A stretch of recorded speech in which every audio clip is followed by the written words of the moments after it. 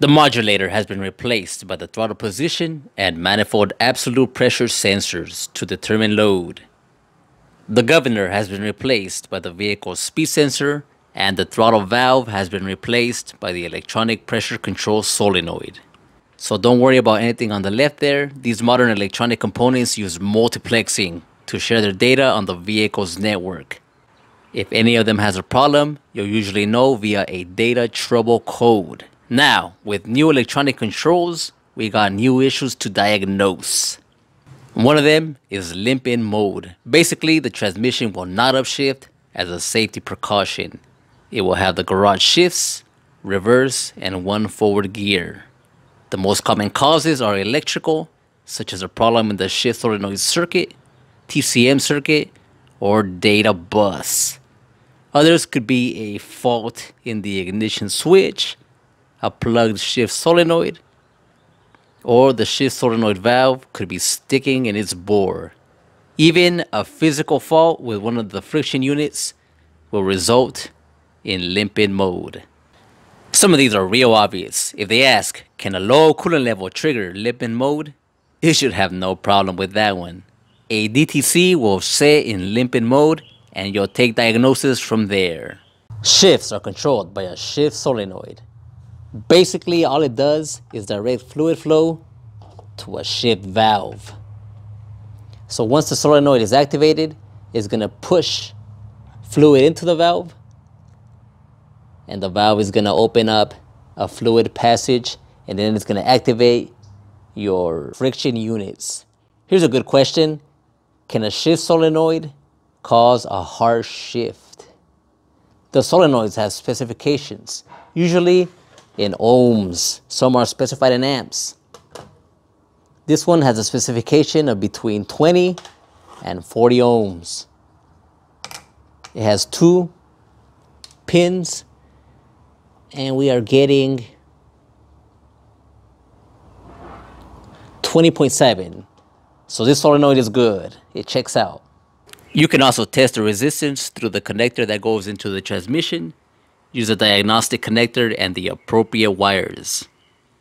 An electronically controlled transmission has shifting issues. One of the shift solenoids reads 0.33 amps and the specification is 1.15 amps. What's the most likely problem? An open circuit, excessive resistance in the circuit, short to ground before the solenoid, or short to ground after the solenoid. There will be plenty of electrical questions. Make sure you understand basic electrical diagnosis first. There will be wiring diagrams. Here's a simplified diagram. We have a battery, a protection device, the load, which is a shift solenoid, and the load is ground side switched by the PCM. Most shift solenoids are ground side switched. Now the test will throw in a meter reading. Say this one is at 7.7 volts. At this point, what is the most likely cause? An open circuit, excessive resistance in the circuit, short to ground before the solenoid, or short to ground after the solenoid. You should know how to read clutch and band application charts. This example is from a 4L60E transmission. What would happen if the reverse input clutch no longer applied? We locate it and see that it only applies in reverse gear. Therefore, if the reverse input clutch became defective, the transmission would no longer have reverse gear.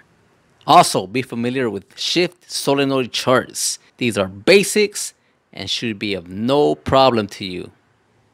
Last, know that engine issues will change the way the transmission shifts. For example, a cold engine makes the transmission shift later than normal.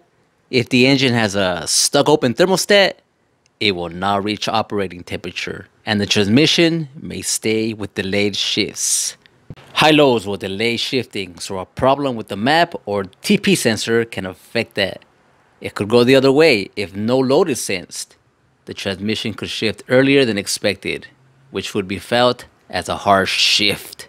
Shifts can also be changed by adaptive controls. Some systems memorize the way the car is driven and adapt the shifts to that driving style. The great thing about this system is that it changes the shifts as the internal components wear. I'll end the video with an official ASE practice question found in the official ASE study guide.